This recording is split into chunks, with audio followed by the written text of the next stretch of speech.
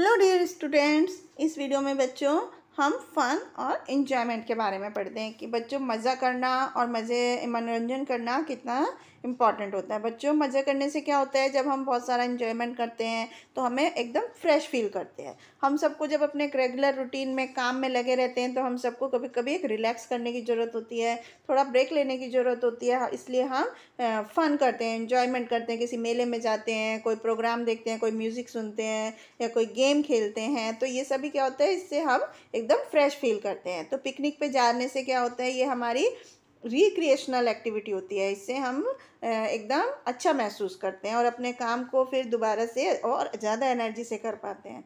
तो बच्चों अपने आपने अपने दादाजी के साथ गेम खेले होंगे, और आप क्लास में बहुत सारे गेम्स खेलते हैं तो वो हमारे रिलैक्सिंग के लिए होते हैं, ताकि हम अपने आगे आने वाला काम और अच्छी तरह से कर पाएँ।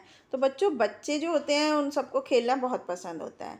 तो जो आउटडोर गेम होते हैं, जो घर के बाहर खेले जाते हैं, उनको खेलने के लिए बच्चों को उनकी एनर्जी की ज़रूरत होती है। और इससे वो बहुत ज़्यादा खुश भी होते हैं और उनको अपने दोस्तों से मिलने का मौका भी मिलता है। तो गेम्स जो होते हैं, वो फ़न है। गेम खेलना बहुत मज़ा आता है। गेम खेलने से तो aunty loves going to school aunty जो है, उसको स्कूल जाना पसंद है और वो पढ़ना और नई नई चीज़ों को सीखना बहुत पसंद करती है करता है but he also enjoys playing different games and sport लेकिन वो अलग अलग गेम और स्पोर्ट को भी खेलना बहुत पसंद करता है। स्कूल में उनके बहुत बड़ा प्लेग्राउंड है आंटी और उसके जो क्लास के साथी हैं क्लास के बच्चे हैं, वो मंगलवार और फ्राइडे को खेलना पसंद करते हैं। इस इसलिए क्योंकि उनके जो गेम्स पीरियड होते हैं, वो मंगलवार और फ्राइडे को ही होते हैं। इस पीरियड गेम के पीरियड में बच्चे क्रिकेट खेलते हैं बास्केटबॉल फुटबॉल खो खो ये सब गेम्स खेलते हैं। कुछ बच्चे होते हैं जो इंडोर गेम खेलना पसंद करते हैं। जैसे chess, ludo, carrom, scrabble, school sport जो रूम है, उसमें बहुत सारे इक्विपमेंट हैं, जैसे फुटबॉल, क्रिकेट गेयर, नेट। तो बच्चे जो होते हैं, वो bat ball, racket shuttlecock और दूसरी चीज़ें स्पोर्ट टीचर से लेकर गेम्स पीरियड में खेलते हैं और उसके बाद उन्हें लौटा देते हैं। तो इस तरह से स्कूल में बच्चे रचित जो है वो एंटी का क्लासमेट है, क्लास में पढ़ता है उसके साथ, उसका एक पैर जो है वो पोलियो से प्रभावित है और इस वजह से वो लंगड़ा कर चलता है, लेकिन वो भी उसके साथ but that does not stop him from playing लेकिन इसकी वजह से वो ऐसा नहीं है कि वो खेलता नहीं है। उसके क्लास के साथी भी उसके साथ खेलना पसंद करते हैं और वो सब गेम में उसको इंक्लूड करते हैं। इसके बाद प्लेइंग फेयरली फेयरली मतलब हमें एकदम ईमानदारी के साथ गेम खेलना चाहिए।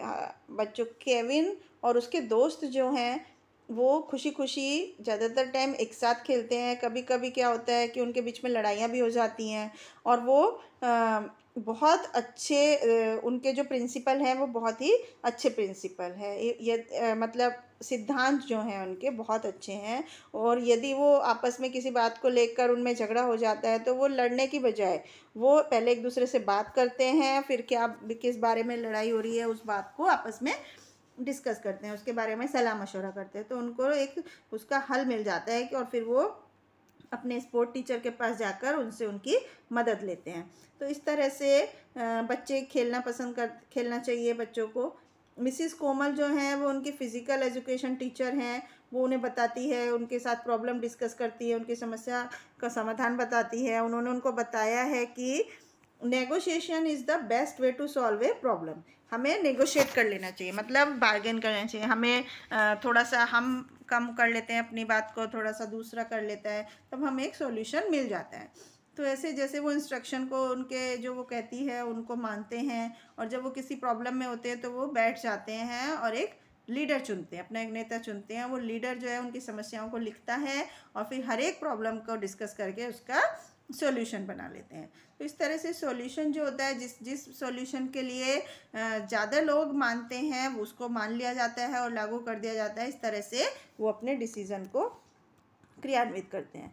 केविंस ग्रुप जो है, वो उसमें लड़कियाँ और लड़के दोनों हैं और उनके, एक उनका फ्रेंड है रोबिना वो स्टेट लेवल स्विमर है, स्टेट लेवल पे स्विमिंग करता है।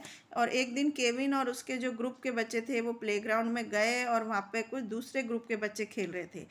अगले दिन वो भी they found the same group playing अगले दिन भी उन्होंने देखा कि वही बच्चे खेल रहे हैं। तो जब केविन ने पूछा, उनको भी खेलने दे तो उन्होंने मना कर दिया। तो इस तरह से नहीं होना चाहिए, उसको भी सम मतलब इस तरह की प्रॉब्लम्स आती हैं स्कूल्स में तो हमें उनका समझदारी से सॉल्यूशन निकालना चाहिए। उसके बाद वुमेन पावर तो बच्चों, एक विश्वास होता है कि लड़कियाँ जो हैं, वो उतना अच्छा नहीं खेल सकती जितना लड़के खेलते हैं, लेकिन ऐसा सच नहीं है। जैसे कि आपने देखा होगा बड़े बड़े प्लेयर सानिया मिर्ज़ा टेनिस की स्पेशलिस्ट है, करना मलेश्वरी वेट लिफ्टिंग की, पीटी उषा एथलेटिक्स की, अंजू बॉबी जॉर्ज लॉन्ग जंप की, अंजलि भगावत शूटिंग की, और उन्होंने बहुत सारे मेडल जीते हैं इंटरनेशनल लेवल पे। उन्होंने सिद्ध कर दिया है कि लड़कियाँ जो हैं, वो भी बहुत अच्छी विजेता हो सकती हैं किसी भी गेम में। इसके बाद एक साथ खेलने की जो शक्ति होती है, उसके बारे में हम पढ़ते हैं।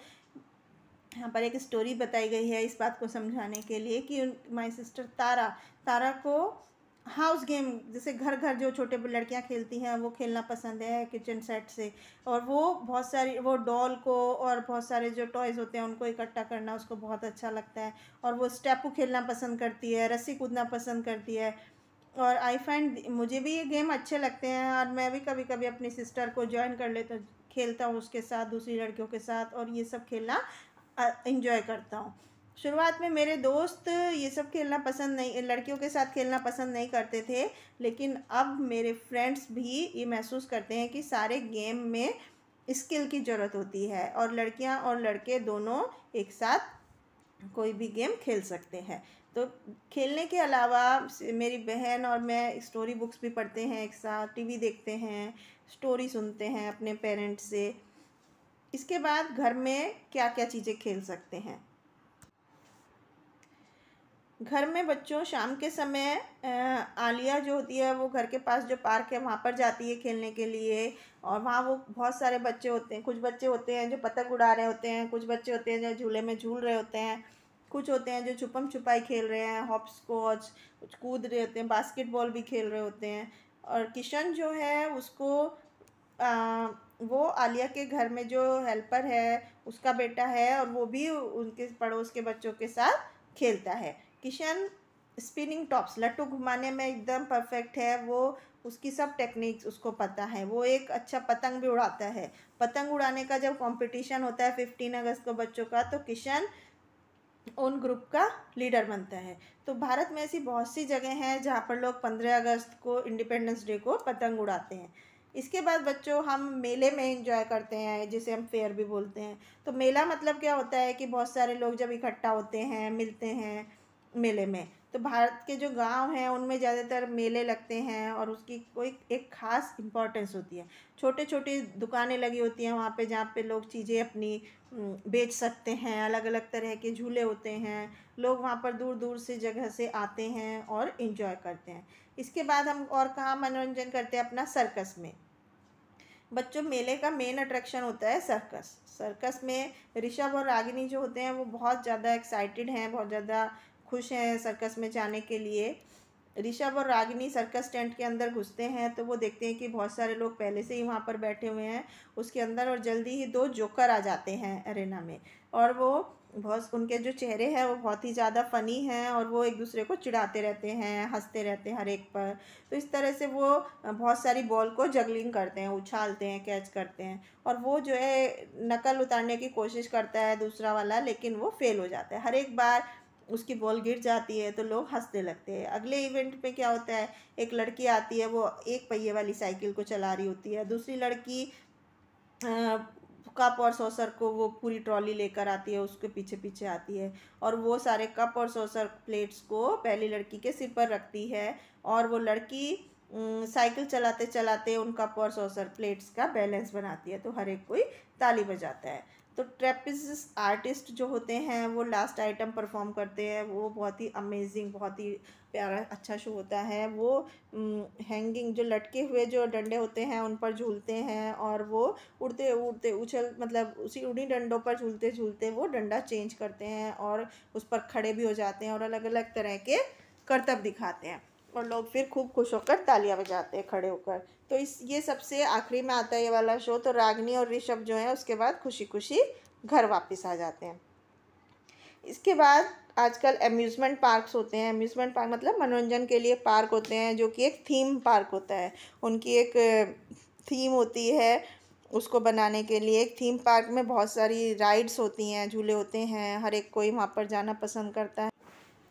बच्चे, यंग बच्चे एडल्ट्स रोलर कोस्टर होते हैं ट्रेन की राइड होती हैं थ्रिल राइड होती है तो इस तरह वहाँ पर बहुत सारी राइड्स होती हैं आजकल अम्यूज़मेंट पार्क में और अलग अलग तरह के झूलों में बच्चे इंजॉय करते हैं। तो बच्चों, इस तरह से फ़न और इन्जॉयमेंट हमारे जीवन का एक महत्वपूर्ण हिस्सा है, जो हम अलग अलग तरीक़ों से लेते हैं। कभी हम म्यूज़िक सुनकर, कभी डांस करके, कभी कोई गेम खेल के, कभी काइट फ्लाइंग करके कभी किसी मेले में जाकर, किसी सर्कस में जाकर तो इस तरह से बहुत सारे तरीक़ों से हम रिलैक्स करते हैं अपने काम के बीच बीच में। आई होप आपको ये लेसन समझ आया होगा। Thank you